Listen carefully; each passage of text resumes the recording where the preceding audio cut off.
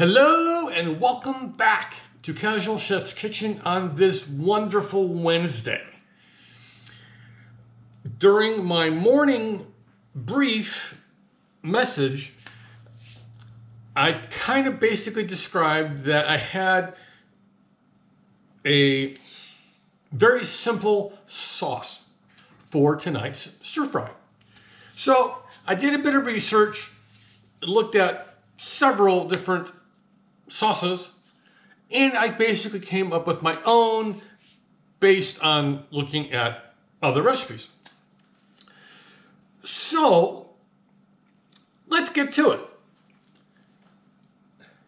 First, let me switch cameras. It's been a while. We're going to start with low sodium soy sauce, rice vinegar, non-seasoned, hoisin sauce, lemon juice. I'm borrowing my wife's lemon juice. And I'm also borrowing her honey. My wife has a very large honey stash. She loves it. We will also be adding, this is pureed ginger, my garlic stash, some corn flour or cornstarch, depending where you, what part of the world you're in. And just a little bit of red pepper flakes, and these are from India. By the way, this is what I have turned to. I have discovered this great little tube of ginger paste. Yes, I'm starting to use, because part of it, because I'm lazy. yes, the casual chef can be lazy, but this is a wonderful little product. It works very well. Look for it in your produce department by your, your, your fresh herbs. Okay. Enough, enough for the commercial. So, let me get things moved around here. I've got a two cup measuring cup.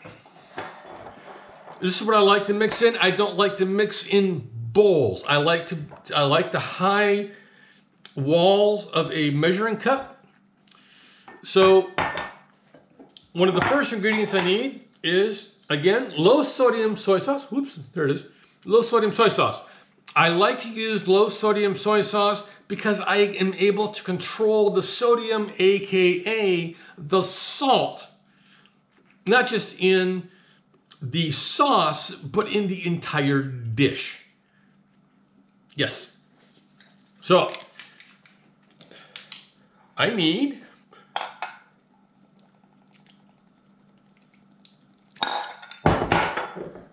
I'm just gonna I'm gonna pop the stopper out of that.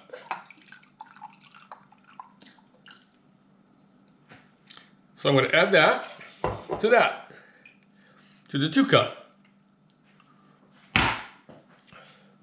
Let me put the plug back in.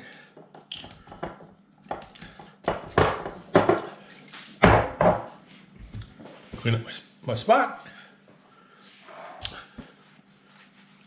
Now, I need two tablespoons of this is rice vinegar, but this is a non-seasoned. There are two or three different versions of rice vinegar in your in your in your, in your mega marts. This is a non-seasoned. So if you're buying rice vinegar, make sure you buy the the not seasoned. So there's two. Done with that. And I'm to shake this. This is the hoisin sauce. I'm actually going to There we go. I actually used the measurements on the measuring cup.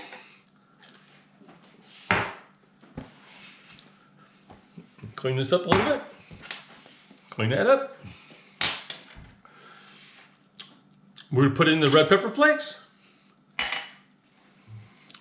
Now we got lemon juice. Always shake things up. Make sure they're, they're, they're, they're stirred. And I only need basically a teaspoon. If you notice, I over pour, I over pour things. Just be safe. Now, some people say, you know, on a lot of these bottles, they have like little squeeze tops. I just, I just pull them off. The honey, which also can be replaced by maple syrup. This is the kind of a, this is basically a local honey that, that Robin picked up. And this is an orange blossom honey. So I don't like to use the squeeze. I just like to basically depending on how sweet you want your sauce. That was a good dollop. Clean up the area.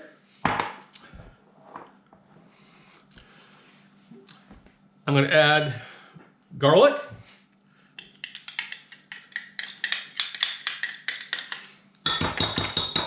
And the ginger.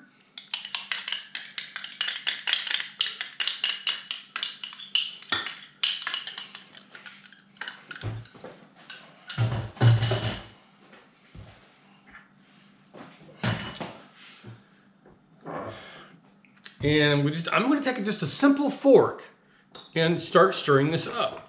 Oops, got a little, little overflow there.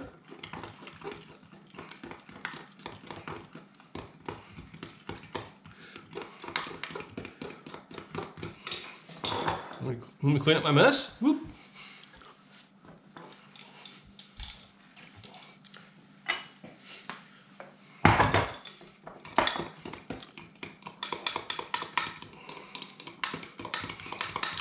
I'm to stir this up really good.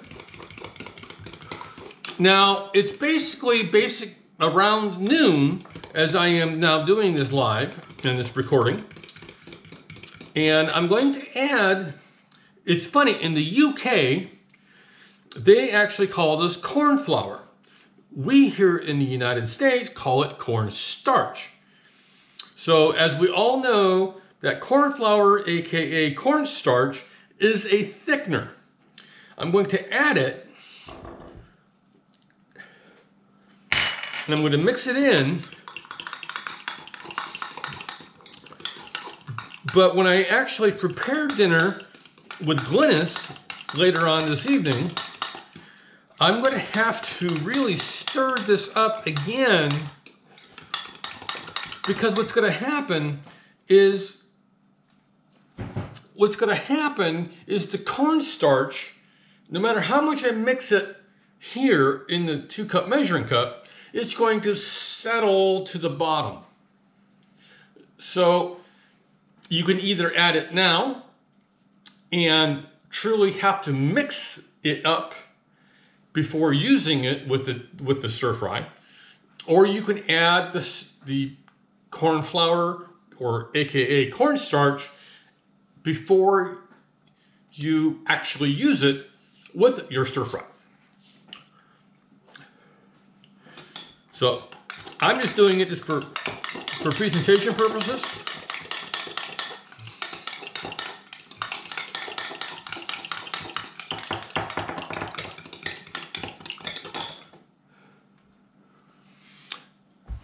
So this sauce will go into the to the cold box until I need it later on this evening.